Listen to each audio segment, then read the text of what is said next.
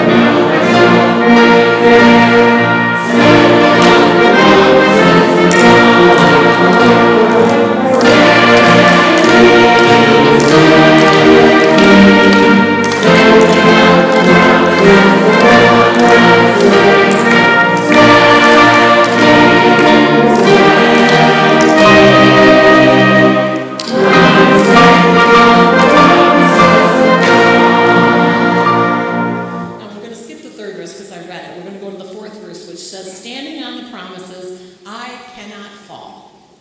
Is there a better promise than that? We cannot fall off the promises of God.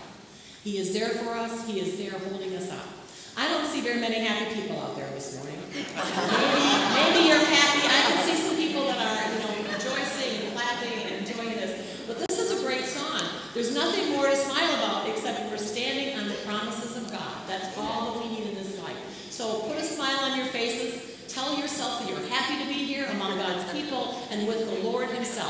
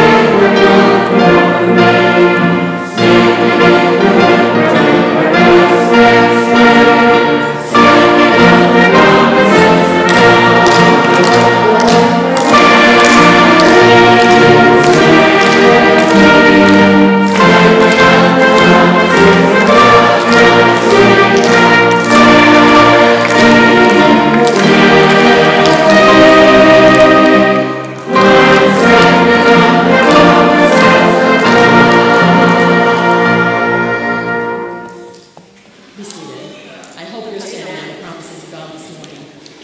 There's a promise for every single one of us, probably more than one. The Lord be with you as you worship.